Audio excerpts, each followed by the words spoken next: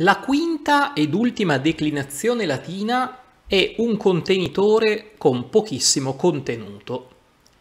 Infatti comprende un numero molto ristretto di sostantivi e in particolare pochissimi nomi maschili, pochi nomi femminili e addirittura nessun nome neutro.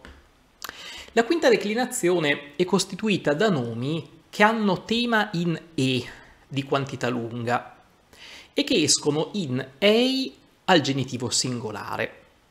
Vediamo il modello di declinazione con due esempi, uno maschile e uno femminile. Partiamo da un nome maschile, che significa il giorno, cioè il sostantivo dies. Si declina così. Al singolare dies, diei, diei, diem, dies, die. Al plurale dies dierum diebus, dies dies diebus. Passiamo ora ad un nome di genere femminile. Scegliamo il nome res, molto generico, significa cosa. Si declina in questo modo.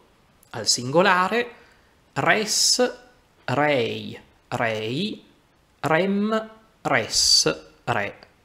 Al plurale res, rerum, rebus, res, res, rebus.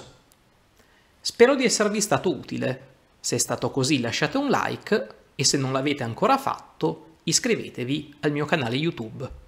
Alla prossima pillola di latino o più in generale al prossimo video. A presto!